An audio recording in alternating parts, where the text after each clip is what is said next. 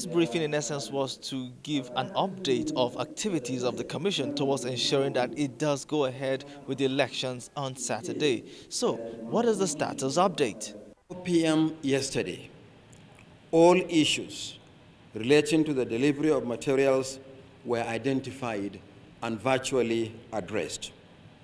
Ballot papers, result sheets, and a host of non-sensitive materials are now in location across the 37 states of the Federation and the Federal Capital Territory.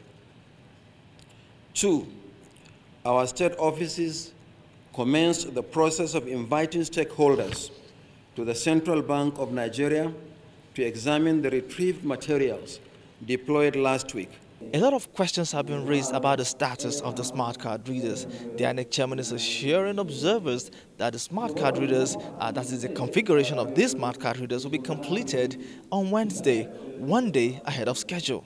Last night, we have achieved 95% configuration of the 180,000 smart card readers, and this process is going to be completed early morning on Wednesday.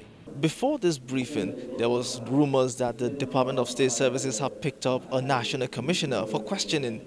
The INEC chairman denied this. Commissioner of the commission was picked up by any security agency. No house of any commissioner of INEC was raided. No any commissioner of INEC has been picked up by the security agencies. On Wednesday, the Minister of Foreign Affairs and the chairman of INEC will meet meeting with the diplomatic corps. This meeting is to assure them of INEC's preparedness for the elections on Saturday.